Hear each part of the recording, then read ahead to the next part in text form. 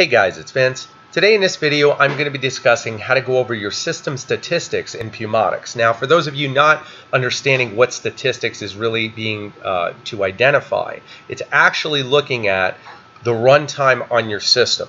And why this is so important is because if we know the runtime on your entire system, the robot, as far as the motors, the chassis, and all the other hardware associated with it, you then can set up a preventative maintenance schedule to go over your system, do that once over to validate all screws are tight, nothing with vibration has caused any issues, check your cables, make sure nothing is wearing.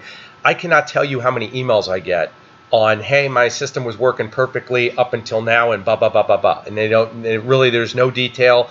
And, when I talk to them immediately about a preventative maintenance schedule everyone draws a blank okay? Whether it's full scale small scale professional or that term hobby that always comes up if you use a machine at all you're definitely going to want to set up this schedule. So first thing you're going to want to do in Pumotix is make sure that your uh, machine is set to the off in the module. You can see the glowing uh, power button right here. It's off. You're going to come over to configuration, go to statistics.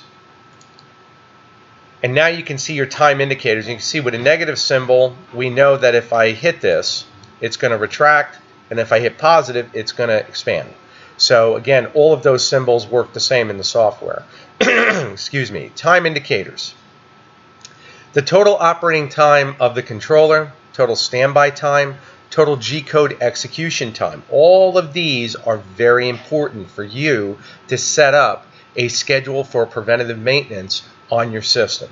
Now, total operating time, I recommend not exceeding five hours of use before going over your system. Now, if the system is new and you've never run it before, you should always set this up to actually uh, be reviewed as far as a new system after maybe an hour to two hours until you get a feel of the system, make sure everything is sound, and then you can expand that time frame based upon that. Okay, logically, we can expand the time frame as long as you've got a an actual schedule set up. You're set. Now you got distance indicators, distance traveled by motor, and you can see uh, NO, N1, N2, N3, N4, N5, total distance in the XY plane, and this is in millimeters.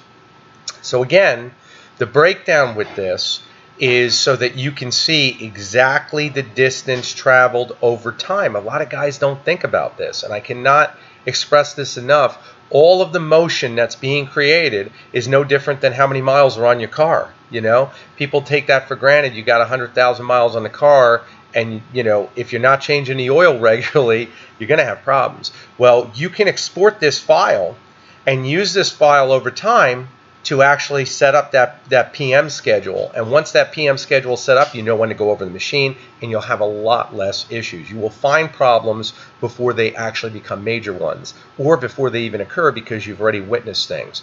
Um, again, very, very critical to set this up, understand it. And again, uh, Mach 3 has something similar. I've covered it before with Mach 3. It has a, uh, a maintenance schedule in there as well as far as discussing it. But with Pumotix, again, You've got your time standbys, everything. All you have to do is watch these uh, actual time indicators, and it will once again give you that overview for you to set up an arbitrary number that you feel comfortable with. I would never exceed five hours of use on any machine without actually going over anything. And when I say five hours of use, guys, I don't mean continuous necessarily. I mean quantified. So if you're doing two hours machining today, an hour machining on the weekend, you know, whatever it breaks down to, if it's five hours, that's when it should be done. And that's only after you've done the once over on a new machine. Or if you've put a machine back into service, meaning you've already corrected an issue, you put it back into service, always go over everything again. Once you start touching things, that's when usually you'll run into issues. So again, I hope that this video has been helpful. You can see exactly how simple this is. Um, if you guys do have questions, require quotes, uh, or consultations, please message me direct at storm2313 at gmail.com or my eDealer Direct store through eBay. I'll put links in the description below. You'll see um, an actual notification at the beginning of the video and at the end. To all my subscribers, I love you guys. I hope that this has been helpful. Take care.